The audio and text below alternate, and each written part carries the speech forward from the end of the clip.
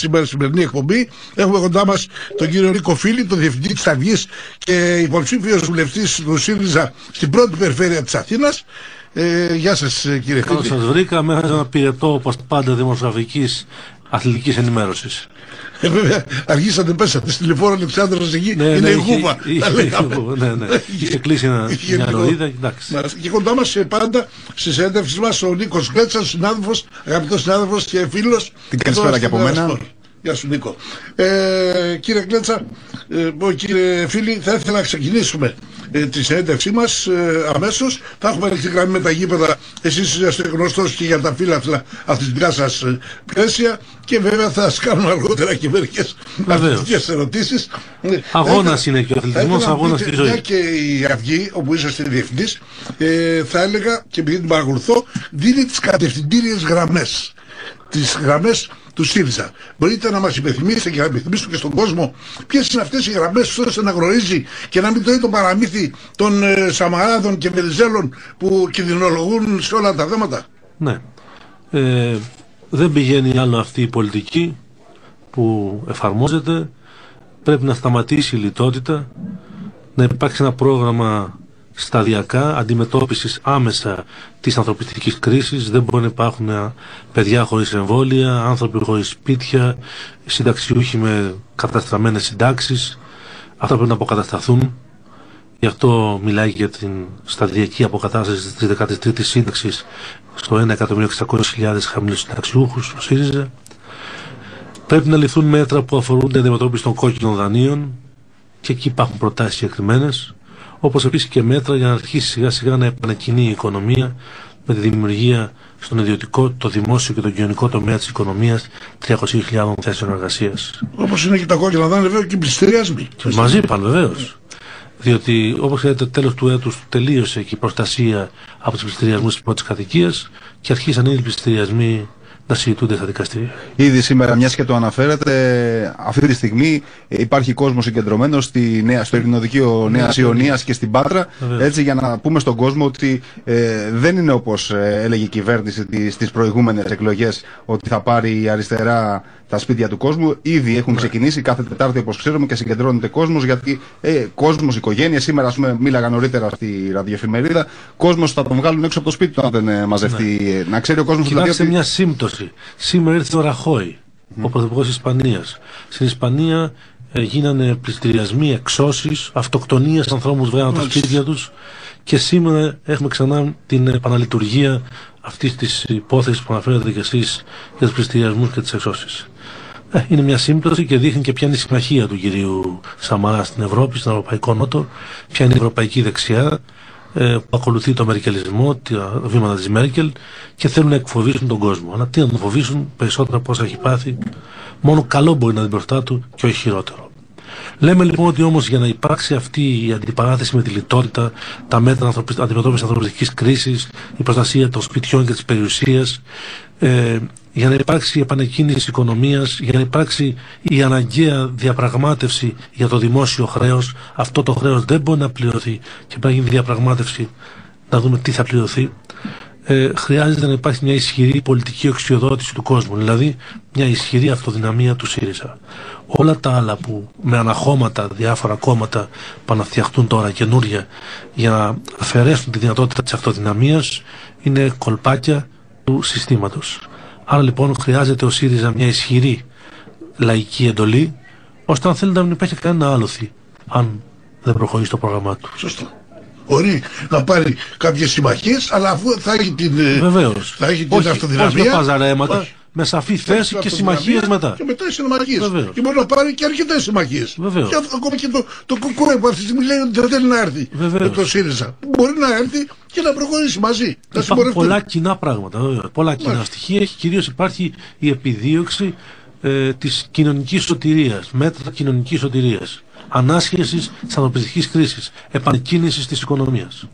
Και ξέρετε, στέκομαι λίγο εκεί που είπατε όσον αφορά την διαγραφή του χρέους. Και προχθές, κατά τύχη, πήγα το πρωί κατά τύχη, εγώ κάνω ζάμπινγκ πάντα όταν κάθομαι Σαββατοκύριακα και βλέπω Μέγκα, Αλφα, όλα αυτά και Sky και μιλούσε ο κύριος Ρουμελιώτης και έλεγε στον κύριο Χασαπόπουλο κτλ. ότι όταν ήταν στο Δουνουτού έκανε πει ότι όταν φτάσει η Ελλάδα να έχει έστω και ένα, ένα ευρώ ε, πλεόνασμα τότε θα αλλάξουν τα, ε, πάμε για την, το χρέος να το διαπραγματευτούμε πάλι. Ναι. Δηλαδή τους το λέει. Και έμειναν άναυδοι.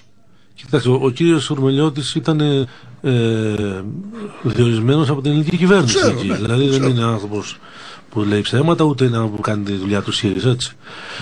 έτσι είναι τα πράγματα. Ε, ένα θέμα είναι αυτό λοιπόν, το χρέος, η λιτότητα, η ανθρωπιστική κρίση, η επανεκκίνηση της οικονομίας.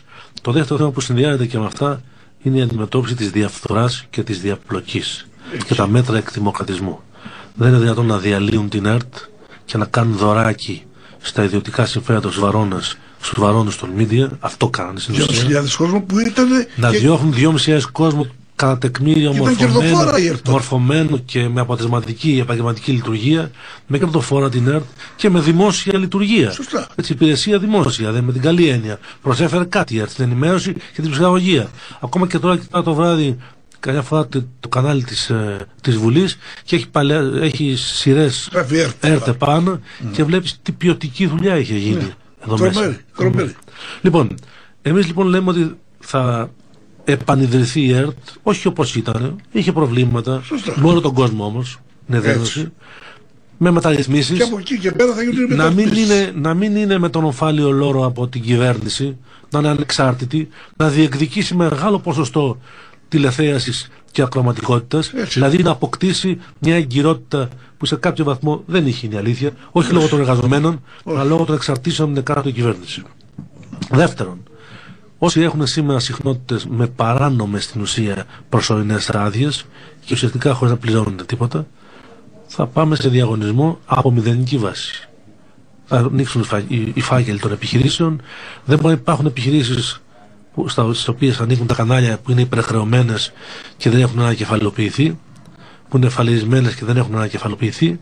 Ό,τι συμβαίνει για όλες τις επιχειρήσεις θα συμβεί στον οικονομικό τομέα και τις επιχειρήσεις των media. Οι άδειες που θα δοθούν θα δοθούν μετά από δημόσιο διαγωνισμό, επαναλαμβάνω ανοιχτό από μηδενική βάση, και το σκάνδαλο της Ντιτζέα, που είναι ένα μονοπόλιο των σημερινών βαρώνων. Καταστρέψαν την ΕΡΤ, η κυβέρνηση την κατέστρεψε και έθιξε την Ντιτζέα δίπλα. Κατακοποιητέ στον κόσμο όλο, να αγοράζει. Η οποία Ντιτζέα ε, καταπατά στοιχειώδεις κανόνες ελεύθερου ανταγωνισμού. Γιατί; Γιατί αυτοί που είναι ε, υπάροχοι περιεχομένου ταυτοχρόνως είναι και υπάροχη του συστήματος μετάδοσης. Και κλειστό κλαμπ. Δεν μπαμπιάζει εκεί μέσα. Αυτά λοιπόν θα τελειώνουν. Και ξέρετε τι μου έκανε εντύπωση; Ότι βγήκε ο Μητσοτάκης και βγαίνει και ο Διάκο. Ο Μητσοτάκης που είναι συνέχεια του άλλου του η μέρα του Μητσοτάκη και βγαίνει και λέει ότι θα περάσουμε λίγο όπως κάναμε με την ΕΡΤ. Ναι. Μέθοδο λέει του ξαφνικού θανάτου, θα καθαρίσουμε όλους τους οργανισμούς. Δεν το κατάλαβα, λες και είναι πρόβατα. Ναι. Δεν σκέφτεται πρόβλημα τον κόσμο. Κοιτάξτε, η ΕΡΤ δεν αφορούσε μόνο την ΕΡΤ. Ήταν και είναι ένα σχέδιο για να εφαρμοστεί σε πολλούς τομείς του δημόσιου, του δημόσιου χώρου. Αυτή είναι η πραγματικότητα. Και βεβαίως ε, δημιουργήθηκε μια αντίδραση και ένα κύμα αλληλεγγύη στους εργαζόμενους της ΕΡΤ, γιατί η ΕΡΤ ε, παρά τα προβλήματα που είχε και δεν, δεν τα κλείνουμε τα μάτια, ήταν όμως μια πολιτιστική και μια μορφωτική και μια ψυχαγωγική ε, όαση. Την πραγματικότητα για τον κόσμο μέσα στη ζούγκλα της υποκουλτούρας, της ψευδούς ενημέρωσης, παραπληροφόρησης που υπάρχει γύρω της, στο, στο το χώρο της ενημέρωσης. Συνεπώς θέλουν να κάνουν τέτοια fast track θάνατο δηλαδή, αυτό το αλλά δεν τους βγήκε. Τώρα θα αλλάξει η κατάσταση. Okay. Θα ήθελα να μου πείτε ορισμένα πράγματα για τα εργασιακά. Ναι. Κοιτάξτε, αυτό που συμβαίνει σήμερα με τη, με τη φιλοσοφία ότι όσο πιο διαλυμένες είναι οι εργασιακές σχέσεις και όσο πιο μεγάλη είναι η ανεργία ώστε αυτό το πράγμα να πιέζει τη διάλυση των εργασιακών σχέσεων γιατί σου λέει όποιος εργοδότης, εδώ υπάρχει στρατός ανέργων, τι δικαιώματα θέλεις. Θα πάρω από εκείνους. Φύγει από εδώ.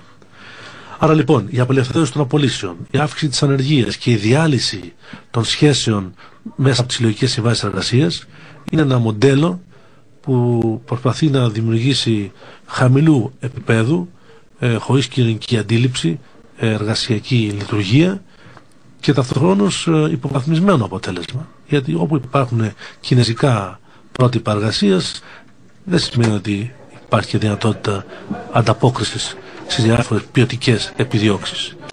Ε, εμείς με την, ε, με την μόλις αναλάβει η κυβέρνηση της αριστεράς έχουμε δεσμευτεί ότι θα επαναφέρουμε το καθεστώς των εργασιακών συμβάσεων ε, αυτό που έχει καταργηθεί έτσι ώστε να δημιουργηθεί μια κινητικότητα διαπραγμάτευσης και διεκδικήσεων στον χώρο των εργαζομένων και έτσι ώστε να δημιουργηθεί και μια συνείδηση και στους εργαζόμενους αλλά και στους μικρομεσαίους και άλλους εργοδότες ότι δεν είναι δυνατόν να πληρώνει το κόστος της κρίσης μονομερός οι εργαζόμενοι. Επίσης έχουμε δεσμευτεί ότι στον ιδιωτικό τομέα θα υπάρξει αύξηση ε, της, ε, του κανόνα του μισθού στα 751 ευρώ. Αυτό σημαίνει περίπου 200 και σε σχέση, ευρώ σε σχέση με τη σημερινή κατάσταση. Δεν είναι μόνο το 200. Κοιτάξτε, όποιος παίρνει 750 ευρώ δεν θα πάει στην τράπεζα να τα, να τα βάλει. Σωστά. Κινεί την οικονομία, τα ρίχνει μέσα. Ε, Άρα θα έχει πολλαπλασιαστικό όφελος συνολικά για όλη την οικονομία και όχι μόνο για τον άνθρωπο που θα πάρει 750 ευρώ. Μάλιστα. Κάνω μια παρέθεση. Αγαπητοί ακροατές, έχουμε ε, στο στούντιο της ε, Open, της εκπομπής Μικρόφωνο στα Ήπεδα, τον κύριο Νίκο Φίλη, διευθυντή της Αυγής και υποψήφιο βουλευτή στην πρώτη περιφέρεια της Αθήνας. Θα είναι κοντά μας μέχρι τις 6.30 και συνεχίζουμε εμείς εδώ στο στούντιο ε, με τον ε, κύριο Νίκο Φίλη, διευθυντή της Αυγής ε, και υποψήφιο βουλευτή της ε, πρώτης περιφέρειας της Αθήνας με το ΣΥΡΙΖΑ πάντα. Ακριβώς. Ε, κύριε Νίκο, φίλοι, μας έχουν ε, στείλει εδώ οι ακροατές μας. Λέγατε πριν για τα εργασιακά και την ανεργία. Και ένας από του. Οι περισσότεροι που έχουν χτυπηθεί είναι οι άνθρωποι που φτάνει η ανεργία 65% τουλάχιστον από αυτούς που, που γνωρίζουμε, γιατί δεν πάνε πια μετά από κάποιο σημείο και μετά για να, στον ΟΑΕΔ. Έτσι. Ε, και βλέπουμε τώρα ότι η συγκυβέρνηση αυτή με τον έναν ή τον άλλο τρόπο αποκλείει αυτούς τους ανθρώπους τελικά και από την εκλογική διαδικασία. Και, και μιλάω φυσικά για τους 18 18 100.000 παιδιά. 100.000 παιδιά που θα μπορούσαν να ψηφίσουν με βάση τον νόμο ε, που γεννήθηκαν το 1997 τα αποκλείουν διότι αν οι εκλογές γινόντουσαν λέει την 1η Φεβρουαρίου μπορεί αλλά επειδή γίνονται 25 δεν μπορεί να, να ψηφίσουν. Ουσιαστικά κλείσαν τους καταλόγους δεν τους ανοίξαν όπως έπρεπε. Μια εβδομάδα ε, νωρίτερα αν είχαν ανοίξει οι κατάλογοι και μπορούσε να γίνει τεχνικά και νομικά. Υπήρξαν προτάσεις του συνήγορου του πολίτη, δεν υπάρχει θέμα. Αλλά ο Σαμαράς ε, φοβάται ότι η ψήφος των νέων ανθρώπων θα είναι καταδικαστική για την για το κόμμα και την κυβέρνηση, διότι οι νέοι είναι τα πρώτα θύματα, το προσάναμα αυτής της κρίσης. Mm-hmm. Να περάσουμε λοιπόν και στα, αν θέλουν και οι υπόλοιποι ακροατές και ακροατρίε μας, ε, κύριε Μότση, να στείλουν και αυτοί το μήνυμά τους στην ερώτησή τους στο Νίκο Φίλη, υποψήφιο της ε, Α Αθηνών. Λοιπόν, φίλες και φίλοι, αν θέλετε και εσείς να στείλετε το μήνυμά σας, ε, πολείτε πολύ εύκολα από το κινητό σας τηλέφωνο, γράφετε τον αριθμό 1, το κεφαλαίο γράμμα π, αφήνετε ένα μικρό κενό και πληκτρολογείτε την ερώτησή σας ή το μήνυμα που θέλετε εσείς στον αριθμό 54045. Επαναλαμβάνω το τηλέφωνο 54045. Ανάμεσα στις δίκες που πήραν αναβολή λόγω του τηλεφωνήματος για βόμβα το πρωί της Τετάρτης στα δικαστήρια της πρώην Σχολής Ευελπίδων ήταν και αυτή του Προέδρου του Ολυμπιακού Βαγγέλη Μαρινάκη. Αν και το τηλεφώνημα αποδείχτηκε φάρσα, η όλη ιστορία οδήγησε στην αναβολή πολλών υποθέσεων που επρόκειτο να εκδικαστούν. Η υπόθεση Μαρινάκη αφορούσε την εισβολή του ίδιου και του Σάβα Θεοδωρίδη στα αποδητήρια των διαιτητών στο τελικό του κυπέλου Ελλάδας. Περί τα τέλη Μαρτίου του 2014 είχαν δικαστεί πρωτόδικα στο έκτο τριμελές πλημελαιοδικείο Αθηνών και αθωώθηκαν λόγω αμφιβολιών, ενώ στις αρχές Απρίλιο ο Δημήτρης Ζημιανίτης, εισαγγελέας πρωτοδικών Αθηνών, ασκώντας έφεση στην αθωτική απόφαση, έστειλε την υπόθεση σε εκδίκαση δεύτερου βαθμού. Τυχαίο. Τυχαίο.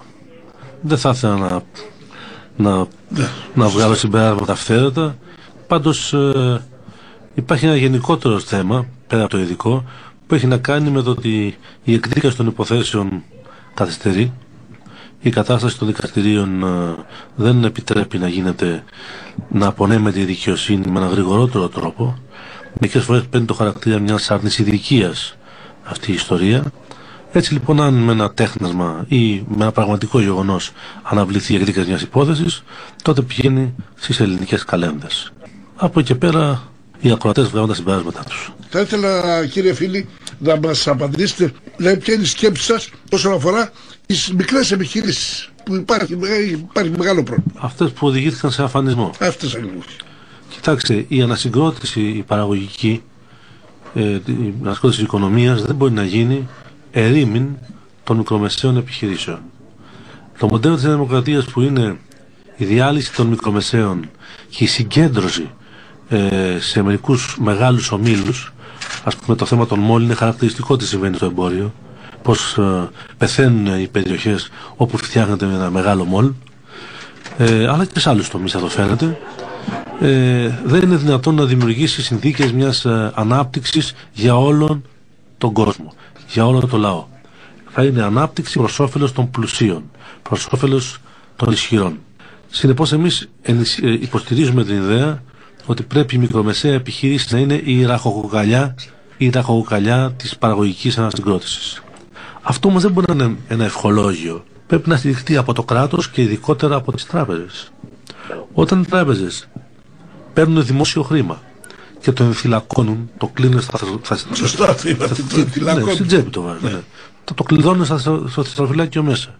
Και δεν το ρίχνουν με κανόνες και προποθέσει και σχέδιο. Δεν λέω μπαταχτσίρικα και ευνεοκρατικά στο να λειτουργήσει η οικονομία και να αναπτυχθούν μικρομεσαίες επιχειρήσεις τότε πιστεύω ότι τα πράγματα είναι πάρα πολύ άσχημα γι' αυτό προτεραιότητα για το ΣΥΡΙΖΑ είναι η αποκατάσταση της λειτουργίας των τραπεζών με ένα πρόγραμμα ενίσχυσης των μικρομεσαίων επιχειρήσεων ε, που σημαίνει ότι αφού το κράτος έχει που έχει την πλειοψηφία των μετοχών στις τράπεζες γιατί έχει πληρώσει για την ανακεφαλαιοποίησή τους είναι παράλογο να μην μπορεί να παρεμβαίνει στη διοίκηση και στο περιεχόμενο της τραπεζικής πολιτικής. Μάλιστα.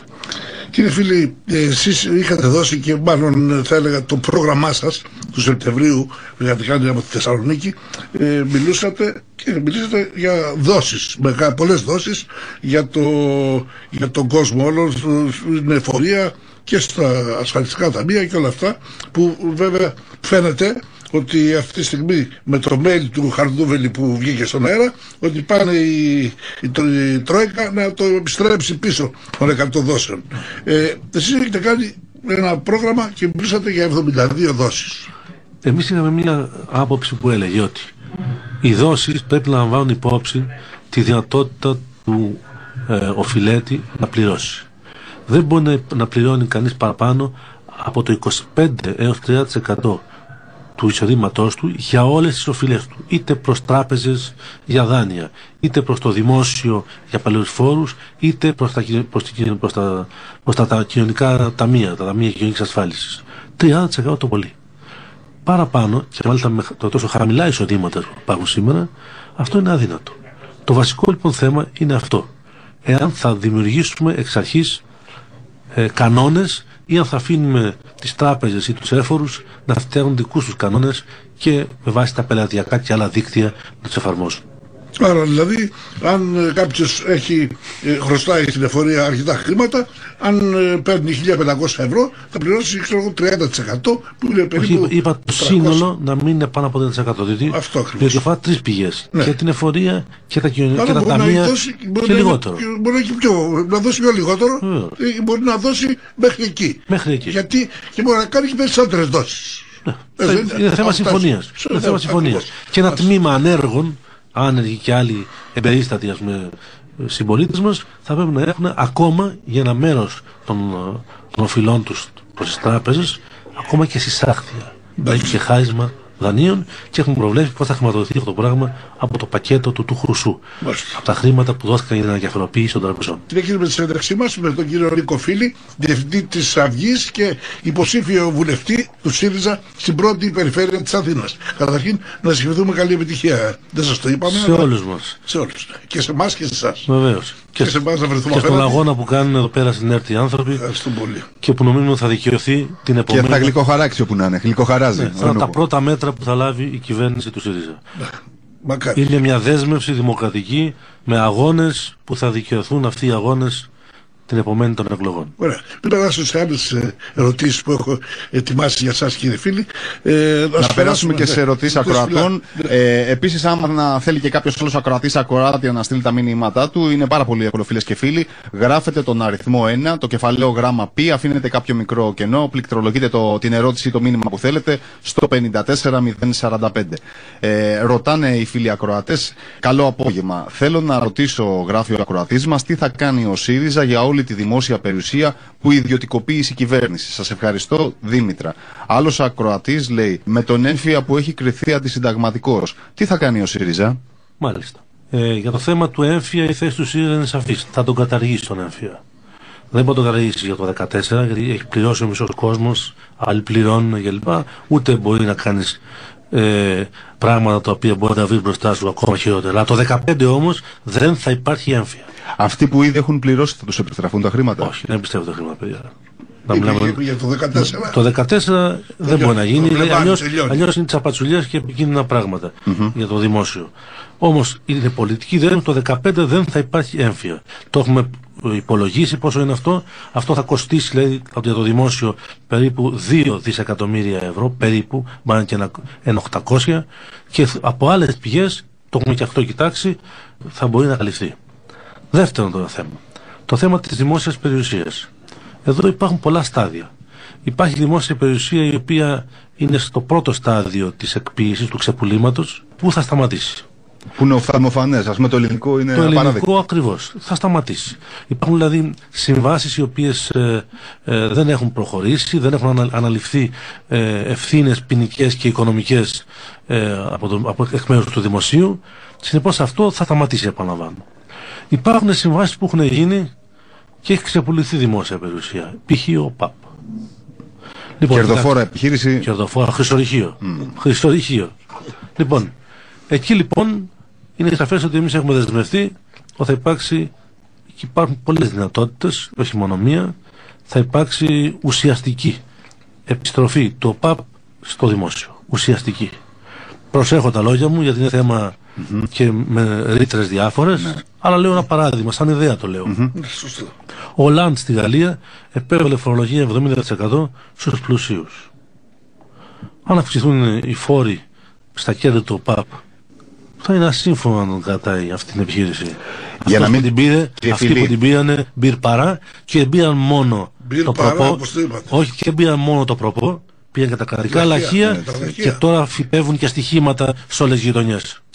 Για να μην τρομάζει όμως ο κόσμος, δεν εννοούμε το, τη μεσαία τάξη. Όταν λέμε πλουσίους, εννοούμε πραγματικά πλουσίους, έτσι δεν είναι; Η μεσαία τάξη έχει καταρρεύσει. Η μεσαία τάξη έχει καταρρεύσει. Μιλάμε πλουσίους. Γιατί είπαν κάτι ότι θα πάρουν τις καταθέσεις. Ποιες καταθέσεις; 5 εκατομμύρια Ελλήνων έχουν καταθέσεις. Και, και ο μέσος όρος των καταθέσεων είναι πολύ κάτω από τις 20.000. Mm-hmm. Λίγοι, λίγοι άνθρωποι έχουν 100.000 καταθέσεις. Και αυτοί δεν είναι και πλούσιοι που τα λέμε εδώ με 100.000 κατάθεση. Ναι, σωστά, σωστά, σωστά. τρελαθούμε. Οικονομίες πολλών ετών που συνεχώς πετσοκόβονται με τα διάφορα μέτρα, με τα παιδιά που είναι άνεργα, με τους φόρου και πάει λέγοντας. Όμως το ποιο είναι το, το όριο είναι μια μεγάλη συζήτηση. Δεν θα την κάνουμε μόνοι μας και μάλιστα τώρα. Θα την κάνουμε με την κοινωνία. Ε, ο πλούσιος έχει να κάνει και με την ε, κατάργηση των εκτός πραγματικότητας σήμερα αντικειμενικών αξιών στα δια ακίνητα. Ε, δεν είναι δυνατόν δηλαδή, να πληρώνουν οι άνθρωποι σήμερα ε, φόρους σε αντικειμενικές αξίες που αντιστοιχούν σε επίπεδα προκρίσης. Σωστό. Έτσι. Άρα λοιπόν είναι μια συνολική συζήτηση για αυτό το περιουσιολόγιο που λέμε ότι θα φτιαχτεί δεν είναι για να υπάρξει φορολόγηση όσων δηλώνονται εκεί, αλλά να υπάρξει μια ε, διαμόρφωση ε, ενός ε, καταλόγου, ενός, ε, ενός χώρου ποια είναι η δυνατότητα να ύλη να συζητηθεί και ποια είναι η φορολογική δυνατότητα του κάθε πολίτη; Και στην τελική να, να σταματήσει και αυτό με την φοροαπαραφυγή που συνήθως κάνουν οι, οι πλούσιοι; Αυτό γίνεται, κοιτάξτε, για μένα τους φτωχούς και τα χαμηλά mm. εισοδήματα έχει καταργηθεί ακόμα και η φορολογική απαλλαγή των 12.000 ευρώ που θα επανέλθει, λέμε. Όχι μόνο αυτό, αλλά έχει επιβληθεί και το 26% φορολογία από το πρώτο ευρώ για τους ελεύθερους επαγγελματίες. Τα μπλογάρια για τους άλλους. Από το πρώτο ευρώ 26%. Του παίρνει 26, 26 cents 26 cents το λεπτό. Τους έχει εξοντώσει. Εξοντώσει, πλήρε. Όμως, όμως, ο κύριος Σαμαρά, ενώ είναι τσιγκούνης και φορομπίχτη στο κάτω μέρος της κοινωνικής βάσης, στους φτωχούς και λιγότερο εύπορους, στο πάνω μέρος στις επιχειρήσεις, Όσες έχουν επιβιώσει από τα λουκέτα που τους έχει βάλει, όσες και οι κερδοφόρες, είναι γαλαντόμο. Λέει θα πάει, θα πάει στο 15%, της φορολογίας. Κύριε φίλοι, θα ήθελα να περάσουμε λίγο, να γυρίσουμε, να πιάσουμε και λίγο και τα αθλητικά ναι. θέματα. Γιατί το ξέρω ότι γνωρίζετε και ασχολείστε με αυτά τα θέματα. Είχατε μια κόντρα με την ΑΕΚ όσον αφορά το γήπεδο, το γήπεδο της με τα στρέμματα εκεί, δύο στρέμματα παραπάνω, δύο στρέμματα παρακάτω, ενώ έχει το γήπεδο της, δεν κοιτάζει η ΑΕΚ ότι ε, ρίξανε το γήπεδο και ο Ζουρανίτσας και να πάει σε δικούς ανθρώπους να τρέχει, αλλά πάει τώρα ασχολείται με τον Βασιλόπουλο, αυτό ο Βασιλόπουλος ο Δήμαρχος, αυτό ο Φίλης που κάνει τη δήλωση για εκείνο και το άλλο θέμα. Για πέστε μας έτσι. Καταρχήν θέλω να πω ότι και ο ΣΥΡΙΖΑ αλλά και η Περιφέρεια Αττικής για διαφορετικά πράγματα είναι και εγώ προσωπικά είμαστε υπέρ του να γίνει το γήπεδο της ΑΕΚ στη Φιλαδέλφια στα όρια του ιστορικού γήπεδου. Αυτό είναι δικαίωμα των ε, εκατοντάδων χιλιάδων ε, ανθρώπων που πιστεύουν στην ΑΕΚ. Ε, από εκεί και πέρα και γι' αυτό άλλωστε υπάρχει χρηματοδότηση έτοιμη από την περιφέρεια, τα 20 εκατομμύρια. Από εκεί και πέρα όμως υπάρχει ένα ζήτημα ποιο ήταν το σχέδιο αυτού του γηπέδου. Και εδώ λέω την άποψή μου. Είναι δυνατόν το γήπεδο αυτό να γίνει κατά παράβαση της ε, οικιστικής και πολεοδομικής νομιμότητας, να γίνει εις βάρος του άλσους, με οικοπεδοποίηση μέρους του άλσους; Είναι δυνατόν το γήπεδο αυτό να γίνει με τα μεγαλομανιακά σχέδια που προωθήθηκαν και σε άλλες ε, περιπτώσεις ε, με τα μόλ, δηλαδή όχι απλώς γήπεδο για, του, για την ομάδα και τους ανθρώπους της, αλλά και τα μόλ τα οποία θα είναι εμπορικά κέντρα. Θα είναι εμπορικά κέντρα τα οποία θα νεκρώσουν όπως ξέρουμε ότι γίνεται την ευρύτερη περιοχή γύρω, τα μικρά και μεσαία μαγαζιά θα τα κλείσουν. Αφού υπάρχει το εμπορικό κέντρο της Φιλαδέλφειας. Άρα λοιπόν, να λοιπόν τα προβλήματα τα οποία υπάρχουν και πρέπει να συζητηθούν επαναλαμβάνω, με κατεύθυνση σταφή να γίνει υπό προποθέσει συγκεκριμένες στα όρια του γηπέδου του παλαιού της ΑΕΚ το νέο γήπεδο. Μου κάνει εντύπωση ότι η διοίκηση της ΠΑΕ δεν ε, έχει πάει σχέδια, ούτε έχουμε διαβάσει, όχι μακέτες τώρα στην τηλεόραση που τη ευλογεί. Ο... Σωστά. Όχι. Λέμε σχέδια δεσμευτικά. Αίτηση άδεια για να βγει. Το σχέδιο, η άδεια για να, βγει, για να, για να χτίσει το γήπεδο. Τίποτα. Τώρα, η συζήτηση μπορεί να κρατήσει πολύ. Το γύρο πρέπει να γίνει γρήγορα, να μην, να πάει, να μην, να μην πάει χρονοτριβή. Αλλά θέλω να στείλω ένα μήνυμα στους ανθρώπους, ε, στα παιδιά και στους μεγαλύτερους, στους οπαδούς της ΑΕΚ. Στους αθλητές, παλέμαχου βεβαίως. Ήδη έκανε συνάντηση μαζί τους και ο Τσίπρας ναι. προημέρων. Και τους είπε και, και να τους πω το εξής. Είμαστε πολίτες καταρχήν. Και είναι αδιανόητο να θέλουν να μας οδηγήσουν στο να παραιτηθούμε από την ολοκληρωμένη ιδιότητα του πολίτη πολίτες με προβλήματα και με αξιώσεις, με καθήκοντα, με υποχρεώσεις αλλά και διεκδικήσεις.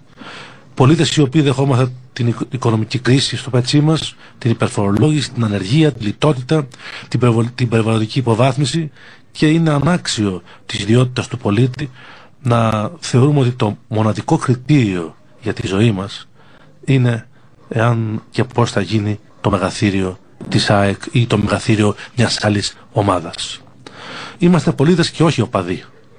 Και είναι κατάντημα για το πολίτευμά μας ότι αποσύρεται ο κόσμος από την πολιτική και από τη δημόσια σφαίρα και υποκαθίσταται αυτή, αυτό το κενό από στρατούς, ιδιωτικούς στρατούς, ε, οπαδικούς στρατούς, ε, στρατούς ομάδων ποδοσφαιρικών και όχι φιλάθλων και όχι, ε, βεβαίως, και όχι φιλάθλων και όχι μόνο ποδοσφαιρικού, ομάδες, ομάδες ε, στρατών ποδοσφαιρικών ε, οπαδικών στρατών αλλά και οπαδών και κομματικών αν θέλετε. Ναι, ο χουλιγκανισμός είναι ένα πράγμα οριζόντιο. Ναι, Δεν ναι. σταματάει μόνο ναι. στο ποδόσφαιρο.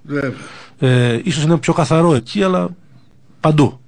Συνεπώς η συζήτηση που πρέπει να γίνει είναι να μην εμπλέκουμε την πολιτική με, τον, με τον αθλητισμό. Και βεβαίως είναι κατάντημα νομίζω. Ε, διαβάζω διάφορα site, ε, ακούω δηλώσεις και παραγόντων του, της ΠΑΕΑΕΚ που χτυπούν ε, προσωπικά το Τζίπρα και το ΣΥΡΙΖΑ. Δεν θα υπάρχει ούτε ένας που θα ψηφίσει με κριτήρια οπαδικής ε, τύφλωσης ε, σε αυτές τις εκλογές. Αλλά θα ψηφίσει και έτσι είναι η μεγάλη αυτή παράδοση της, του προσφυγικού σωματείου θα ψηφίσει με βάση τα λαϊκά συμφέροντα. Μα κύριε φίλοι, ούτε ο Τσίπρας, ούτε ο ΣΥΡΙΖΑ, ούτε ο Φίλης σε κατακλείδη είναι εναντίον αυτού του γηπέδου, αυτού του αθλητικού, ε, θα έλεγα, ε, χώρου που θα, ε, μέσα θα πάρει και θα φιλοξενήσει το ποδόσφαιρο, το μπάσκετ και τις άλλες ανθρωπιέ. Τα πολιτικά κέντρα, βεβαίως. Ναι, το οποίο θα είναι και για την ανάπτυξη του αθλητισμού και από τη βάση και θα αναπτυχθεί και όλος ο αθλητισμός. Γιατί και η ΑΕΚ από εκεί βγήκε. Αλλά θέλουμε σχέδια όμως. Να δούμε, όχι μακέτες. Έτσι. Εγκριμένα σχέδια. Μάλιστα, ακριβώς. Και νομίζω το έδωσε και την απάντηση ο πρόεδρος του ΣΥΡΙΖΑ ναι. που του είπε, παιδιά, τους παρέμαχους αμέσως μετά. Ένα διάλογο αμέσως μετά. Μην σας λέω τώρα ότι ναι, θα το κάνουμε και τέτοια και θεωρείται παραχοντολογία και τέτοια. Θα πει ναι, εγώ μετά τις εκλογές είμαι εδώ και Ωραία. Αντρίκια ωραία είπε ότι εδώ θα κάνουμε και θα το φτιάξουμε το γήπεδο. Όπως είπε και η Περιφερειάρχης και για το γήπεδο του Παναθηναϊκού. Και αυτό έχει πρόβλημα. Το γήπεδο του Παναθηναϊκού που ζήτησε ο Παναθηναϊκός να κάνει και ζήτησα να το κάνει διόροφη, ξέρω εγώ, κάτι είπαν. Εκεί βέβαια, εκεί έχετε κάποια γνώση. Δεν, δεν το ξέρω το Ούτε εγώ το ξέρω. Δεν το ξέρω καλά. Να, δούμε τι λένε συγκεκριμένα, να γίνει ένας διάλογος, μην προτρέχουμε. Έτσι ακριβώς. Ήθελα να μου πείτε πριν περάσουμε στην τελευταία ερώτηση, στην πρώτη τελευταία. Τι έχετε να πείτε στους αναποφάσεις τους αυτή τη στιγμή; Βρίσκονται το, ε, έτοιμοι να ψηφίσουν και ακούνε τις κοινωνιολογίες του Σαμπαρά, του Βενιζέλου και των άλλων Να ψηφίσουν με βάση την ελπίδα και όχι τρομοκρατημένοι και με βάση το φόβο. Να ψηφίσουν για να ξημερώσουν ένα καλύτερο μέλλον για, τα, για αυτούς και για τα παιδιά τους και όχι για να παραμείνουμε βουλιαγμένοι μέσα στην κρίση, την ύφεση και την αντιδημοκρατική λειτουργία του πολιτεύματος.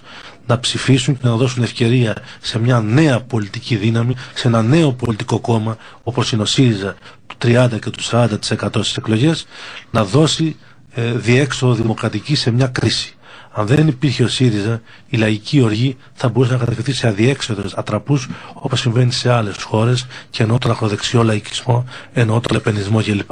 Εδώ υπάρχει μια δημοκρατική αριστερή δύναμη που μπορεί να δώσει θετική διέξοδο, δημοκρατική διέξοδο με πρόγραμμα, με σχέδιο, με, με το ηθικό εκτιμένο των ανθρώπων που αποτελούν αυτή την πολιτική δύναμη να δώσει διέξοδο στις αγωνίες και στην οργή, τη δικαιολογημένη οργή των ανθρώπων με αλληλεγγύη, δημοκρατία και δικαιοσύνη. Γιατί χωρίς δικαιοσύνη καμιά θυσία δεν είναι δυνατή από τον κόσμο που αγώγιστα τόσα χρόνια πληρώνει, πληρώνει και ολοβουλιάζει η ζωή του. Και κλείνοντας, θα ήθελα να πείτε ποιες είναι οι ιδέες σας για να σας ψηφίσει εσάς ο ελληνικός λαός, μια κατηγορία με το ΣΥΡΙΖΑ στην πρώτη περιφέρεια της Αθήνας, τι σκέφτεστε σαν ιδέες για το καλό της Αθήνας; Κοιτάξτε, εγώ είμαι Αθηναίος γέννημα θρέμα και πιστεύω ότι μια νέα κυβέρνηση της αριστεράς μπορεί να ξαναδώσει με σχέδιο, με πρόγραμμα, με δράση, με πόρους που θα βρει, να ξαναδώσει στην Αθήνα ε, μια κοινωνική λάμψη. Να φτιάξει κοινωνικές υποδομές ώστε να επιστρέψουν οι οικογένειες και να αποκτήσει μια ζωή το ευρύτερο κέντρο της Αθήνας. Να μην είναι μια κατεστραμμένη από πολλές πλευρές κοινωνική υποδομή. Αλλά το θέμα δεν είναι μόνο η Αθήνα είναι συνολικά η Ελλάδα γιατί αυτό που βλέπουμε στην Αθήνα είναι μια μικρογραφία της ευρύτερης Ελλάδας. Και θα ήθελα να τελειώσω λέγοντας στους ακροατές την εντύπωση, την εντύπωση που έχω από τη σημερινή μας συνάντηση.